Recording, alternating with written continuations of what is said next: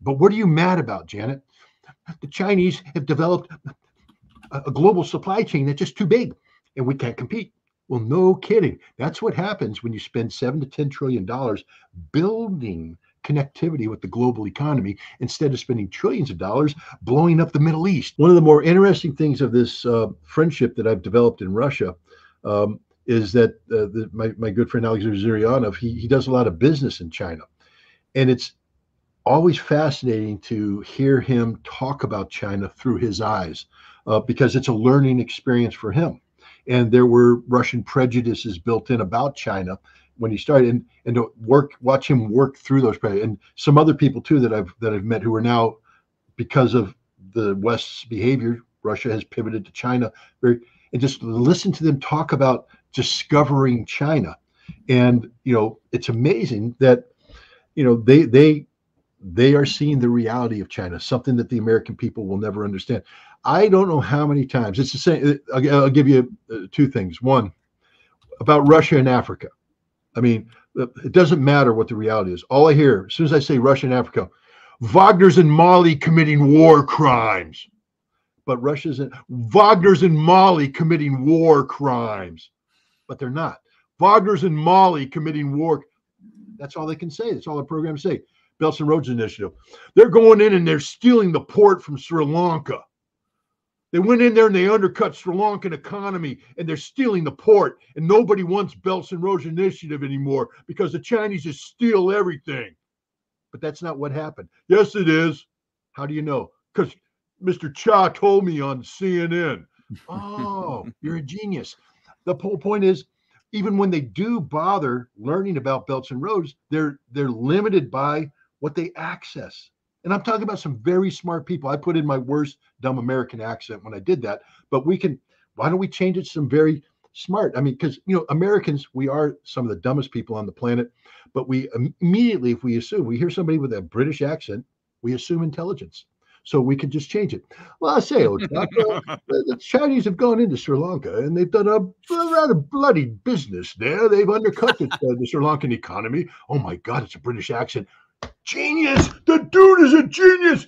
Yes, it's bad. You know, so that's why we read The Economist and we read the Financial Times because it puts a British accent on this, and we go, then damn Brits are so smart. They know everything. They know nothing. That's why their economy is flailing. That's why our pathetic middle-sized nation that's in collapse. That's why they have no, uh, you know, influence in the world beyond what they what what they hold on to because of empire. But no, the Chinese are running Carla, what is seven to ten trillion dollars that the Belts and Roads Initiative has put in to the global economy uh, since 2013? I mean, it's a ridiculous number, a ridiculous number. And it's created, you saw Janet Yellen, again, I'm not the expert, but Janet Yellen just came back, the confusion in her face when she was talking about China, because she wanted to get really mad at them. But what are you mad about, Janet? The Chinese have developed a global supply chain that's just too big and we can't compete. Well, no kidding. That's what happens when you spend seven to ten trillion dollars building connectivity with the global economy instead of spending trillions of dollars blowing up the Middle East, you stupid woman. I mean, my God, if the Americans would take the Chinese approach, I mean, I feel bad for the Chinese now because they're building aircraft carriers. Don't. Don't. You don't need them. They don't work. You guys know because you've built missiles to sink our aircraft carriers. We have missiles that sink yours. Stop building aircraft carriers.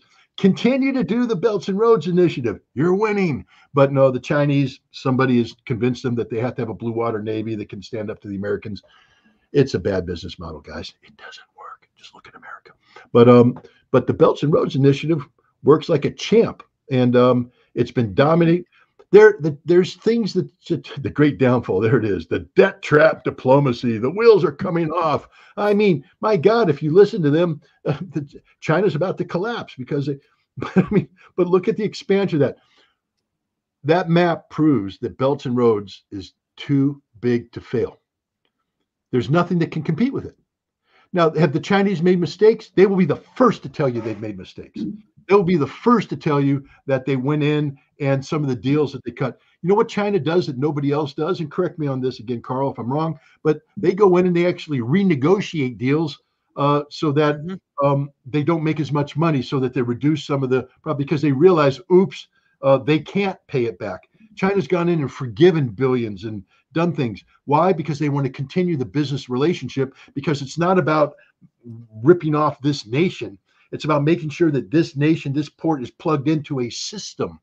So the Chinese will, you know, reduce profits or eliminate profits here to make the entire enterprise profitable. The Chinese know that if they get, you know, if they if the accusations stick here, other people will not want to be part of it.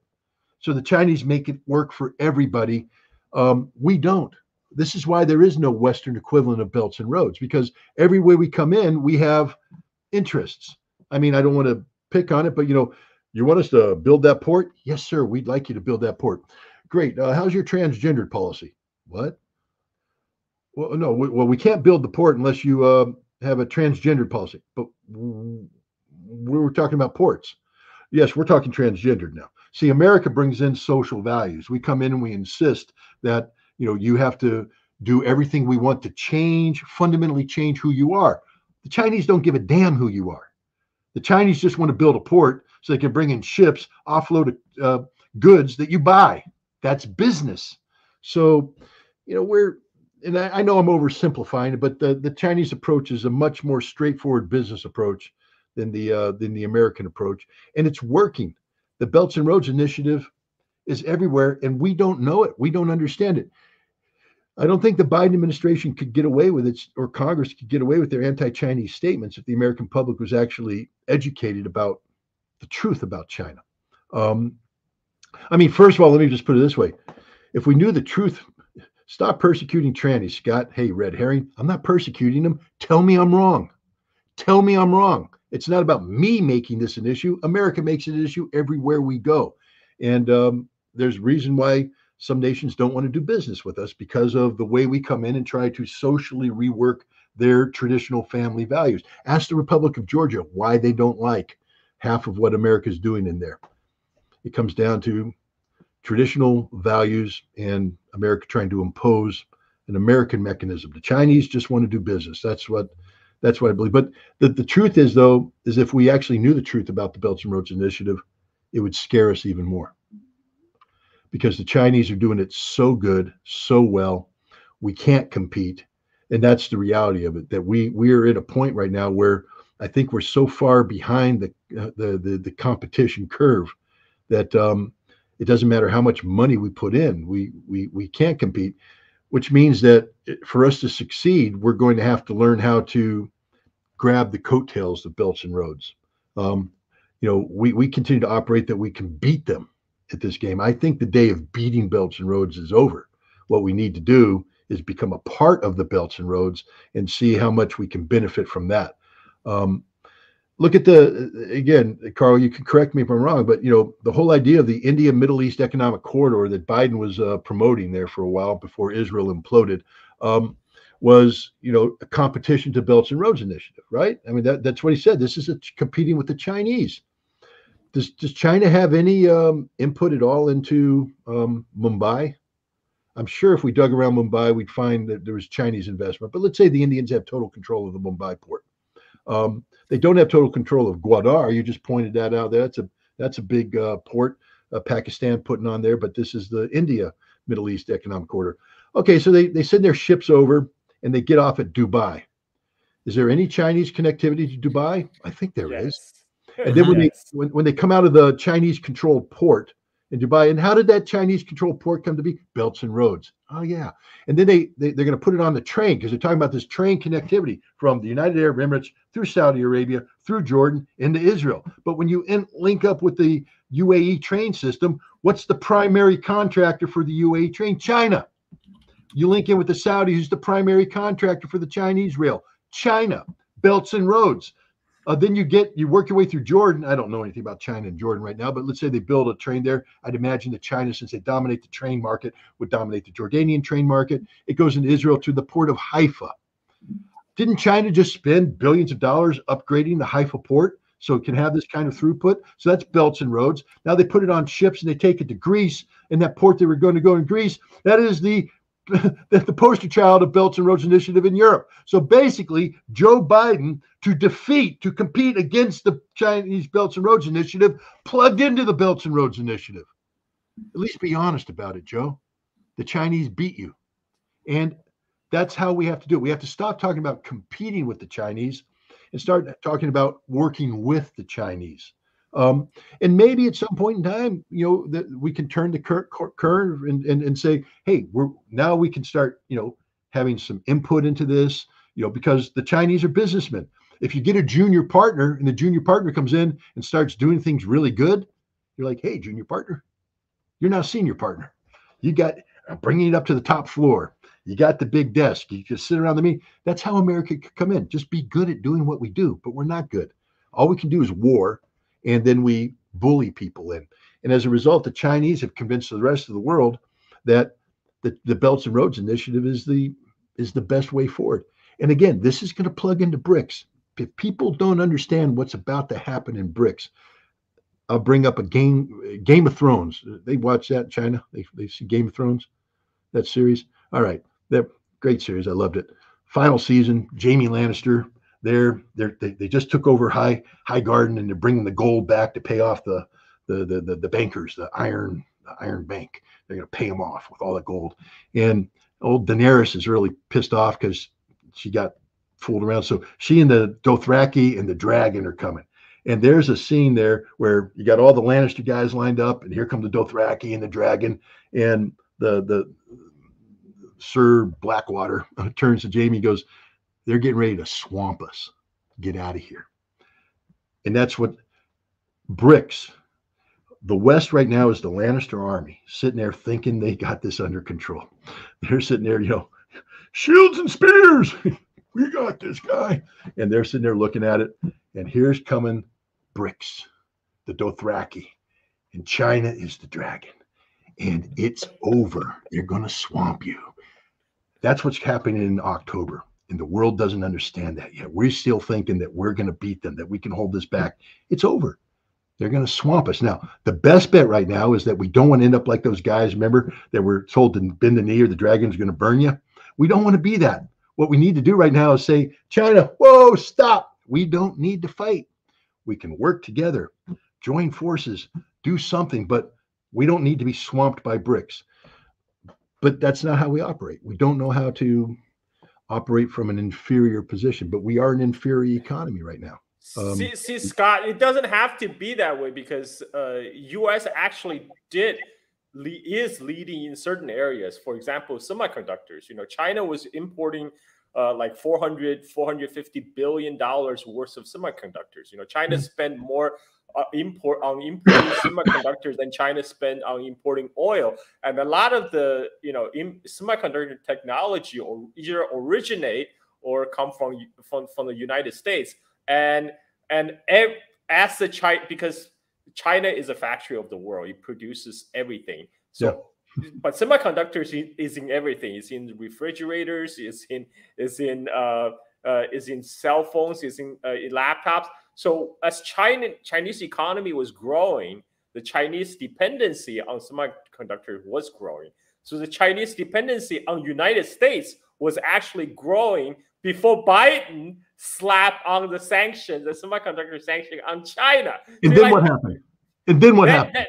Then, then China is forced to develop their own semiconductor capability because like before China was perfectly happy to buy from United States. Huawei was perfectly happy to buy Qualcomm chips um, uh, as other Chinese companies. But but U- U.S. is saying no, no, sorry, Qualcomm, you can't sell to China. So, sorry, Nvidia, you cannot sell your AI chips to China. So so Huawei has no alternative but develop their own domestic suppliers. And, and but here's and, the thing: in the West, we have a model. You see, because I know how Western policymakers think. The Chinese, it's going to take them forever to catch up, because the Western model is, you know, how would what would we do? How much would we have to invest? And it's prohibitive because we don't have a market sustainability. We have, you know, we get 300, 340 million Americans, you know, that's our market base. And so it's too expensive, prohibitively expensive. The Chinese will be behind. The Chinese went, we got 1.4 billion people.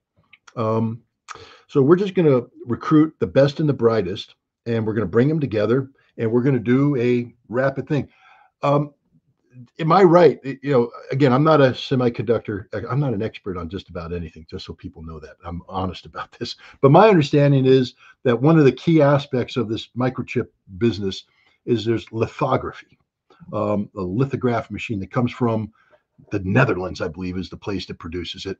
And they had some of them in Taiwan, and they didn't want this technology transferring over to China, so they put a ban on that.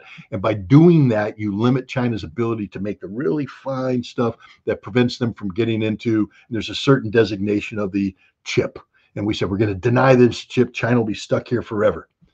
And I think in less than a year, the Chinese have not only developed this lithography technology They've surpassed it and they're producing chips. I don't know if they're mass producing them yet, but they have produced conceptual chips that are better than the chips that needed. So the concept that we were going to disrupt China from transition into, I mean, uh, I know that uh, Alex was talking about 6G technology, but the Chinese are already into 7G. I think they're they're they're fooling around with this stuff. All we did is accelerate China's own internal development to now not only are are they not dependent upon Western technology. They've surpassed us and they're moving forward, and we just made it easier for them. And this is my point on this is the same thing I said about the financial system. The Chinese don't want to unplug from the dollar. They don't want to do all this because they're happy with this balance. They're happy. The Chinese are all about balance. Balance. Balance is necessary. Life is about balance. The Chinese, I was going to say yin and yang. That is a Chinese thing. I hope I'm not going to uh, throw a Japanese philosophy China. The yin and the yang, the balance. You know, it's all about balance. They don't want to rip you off. They want balance. They want harmony. And so there was a harmonious relationship financially, a harmonious relationship in terms of the chips, and we screwed it up. And so now the Chinese, I don't know if they've totally conquered the chip problem, but they're well on their way to conquering the chip problem. They don't need the West anymore. The West opted out. And then so China's you're going to win this one too. And they're going to do the same thing on the finances. I just have a feeling that all the hard decisions that people didn't want to make because it's not harmonious um, are going to have to be made in October in BRICS.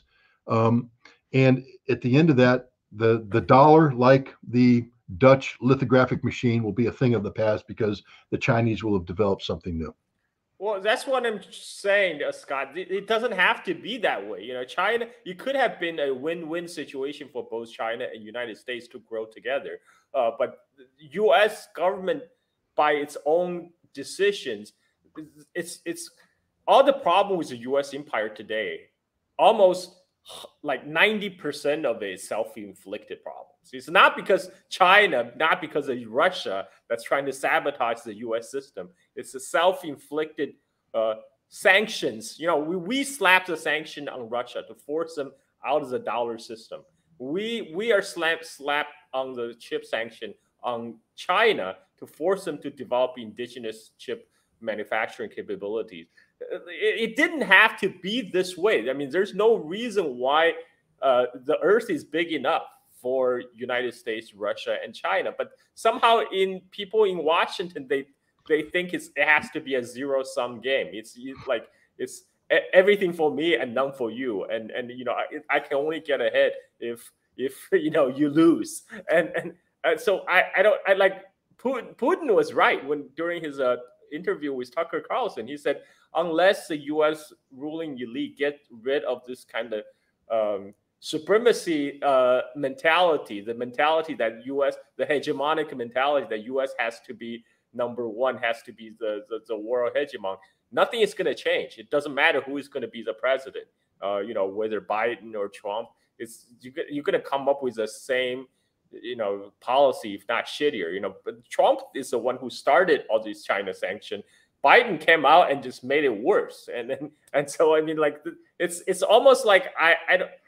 I I I have U.S. passport. You know, I am a Chinese American, so I actually it's my in my vested interest to see China and US get along, work together.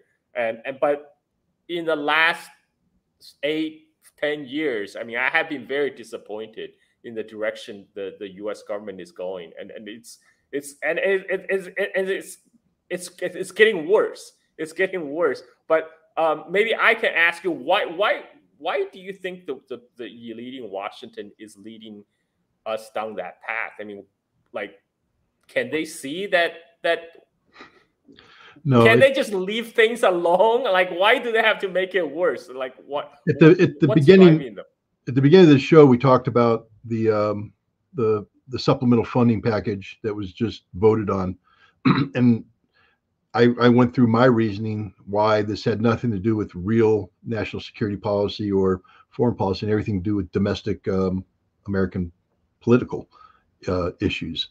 Um, it's the same with China.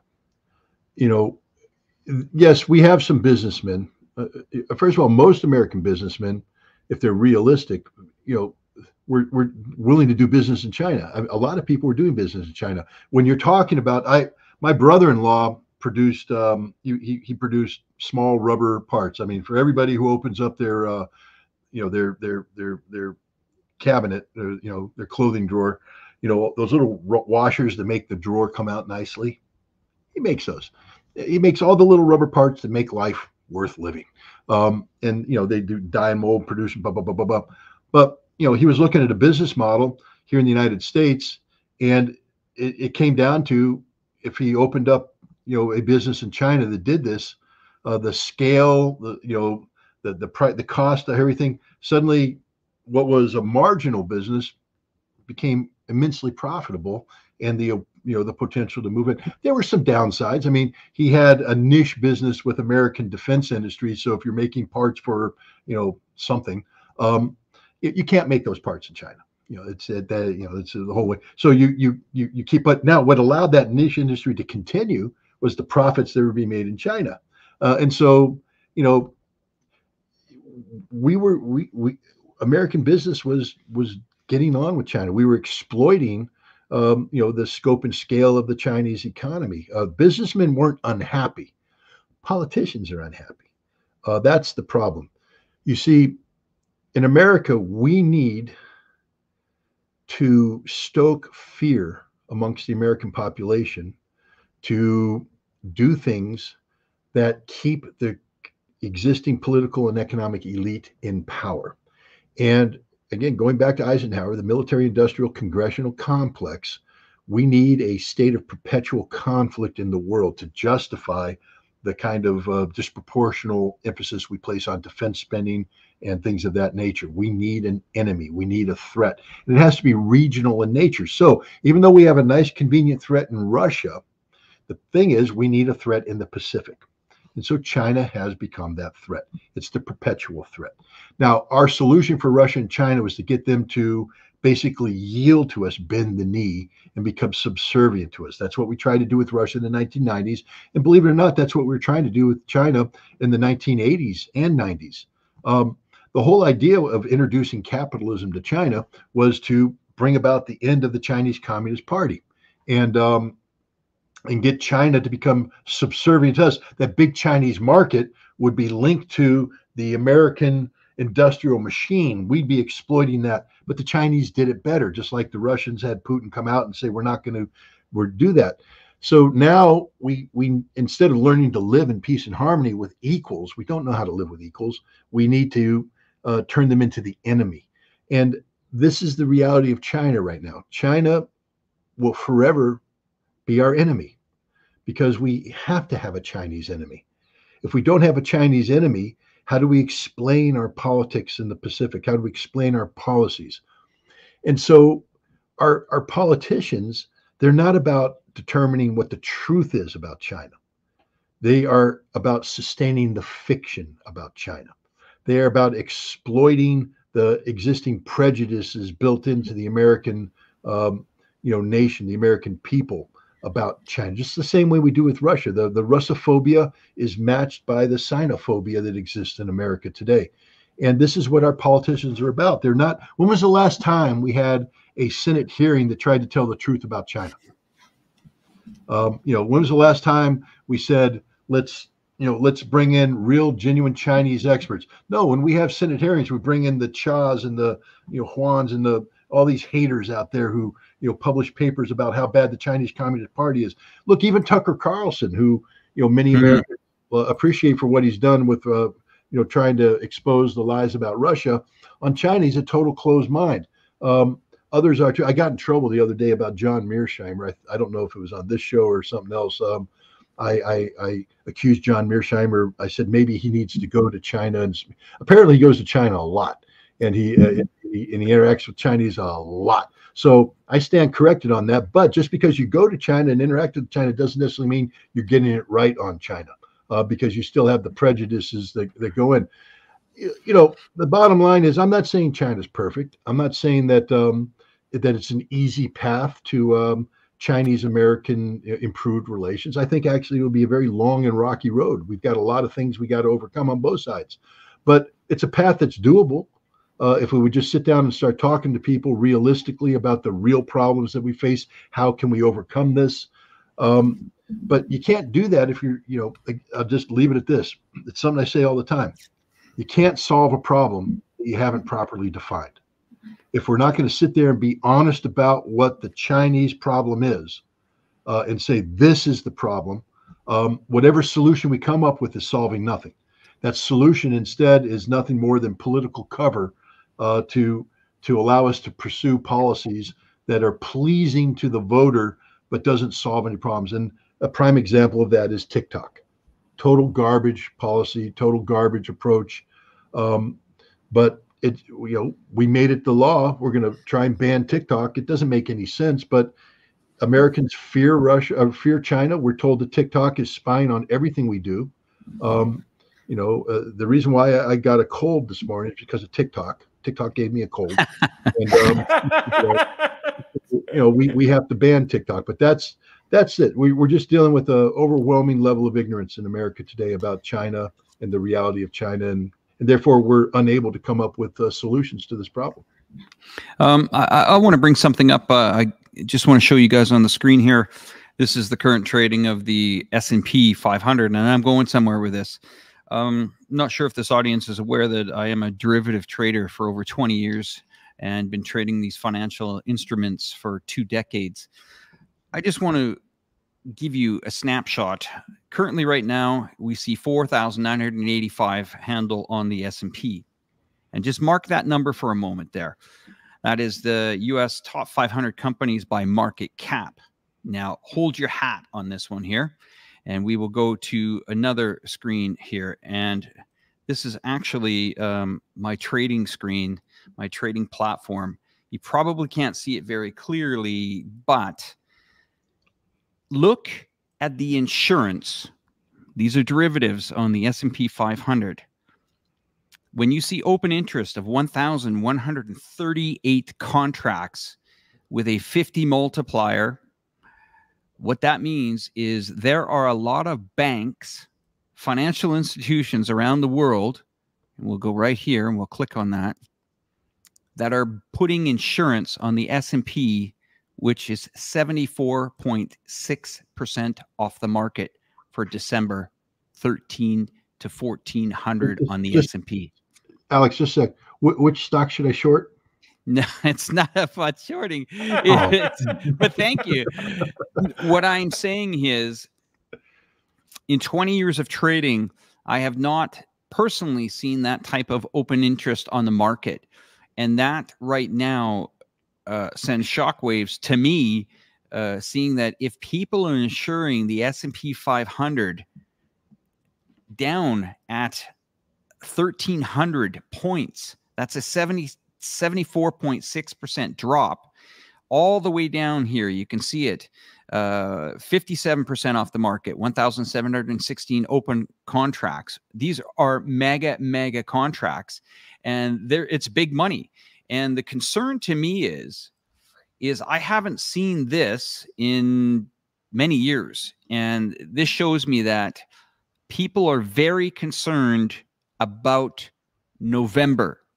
And it, that just resonates here again when I start to see these these contracts, uh, and we're and I'm starting to get some people here. Yeah, that is the December put options there, expecting some serious things to happen in December Jonathan, you've hit it right on the on the nail there. What do I need to do to make money in December? Just give me the easier. Do I need to buy stocks or sell stocks or what do I need to do? What's your strategy, man? Because no, I'm just saying, Scott, that you know when you when you're talking about instability or when you're talking about nations uh, paying attention to certain dates people are really watching november. And from a geopolitical standpoint this whenever there's moves in the market and we call it volatility the best volatility index is the vix i don't know if ever you know i don't want to get into this too much i don't want to bore people here but uh, the volatility index on the United States is called the VIX. Uh, just how it, let me just bring this up just to show you guys what I'm talking about. Uh, Scott, okay. if you want stock tips, ask Nancy Pelosi. Nancy Pelosi is the best stock picker in Congress. She's beating the market reliably. so this is the um, this is the volatility index, the CBOE, and I'm just going to show you guys the five year graph on this thing, you guys can probably sense what that that what that is. Third of March, 2020. Okay, that's when the pandemic was hitting its peak. Yep. And and that's a 66 handle on the VIX. That means that's when the S&P fell almost 43% in, in a month there. Right now, we're seeing a small uptick in it. And to me, it's relatively all calm. But what triggers this is now I'm kind of concerned here where we have you know a lot of action going on in December. So that means that are we in for a surprise in November? November elections? I mean, what other news can we anticipate? Because in the option market, in the derivatives market, I've had this argument a thousand times. The action always happens first in the derivatives market, and then it falls into the stock market. Maybe we can uh, get some people in the in the chat here to maybe let us know, give us your opinion, uh, and I'll let these gentlemen back to talk. But uh, uh let us know. I've, I've got to run because I've got to take my wife to a very important appointment. So um, I am her Uber, and unless you can give me a stock tip that allows me to make enough money to buy a driver and a car, I got to got it. Scott, I'm gonna I'm gonna let you go. You can say goodbye to Carl here, and then uh, I'll end it up with Carl. We'll stick around for a few minutes. All right, Carl. Go Good ahead, talking to you, Carl. I apologize if I stepped on you. I was really hoping to uh, let you speak, but unfortunately, Alex no, no, pulled no. the string. And People in chats are telling me to shut up because they want to listen to you. So I'm, no, I'm following the advice. All right, guys. Have a good one. Thanks, Scott. We'll we'll see you in a, in a few weeks. Okay. Take care, sir. Bye bye. Take care. Bye bye. Uh, okay, Carl. Yeah.